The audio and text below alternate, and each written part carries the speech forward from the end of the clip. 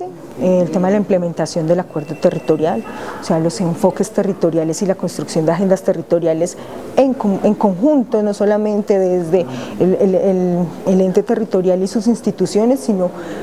en articulación con las comunidades que son quienes viven y están en sus territorios, ¿cierto? La implementación del plan, del, acuerdo de paz es fundamental para garantizar la, la, digamos, la estabilidad en el departamento y yo creo que en toda Colombia es hoy un, reclamo, digamos un llamado que se hace eh, también como organizaciones defensoras de derechos humanos, una implementación.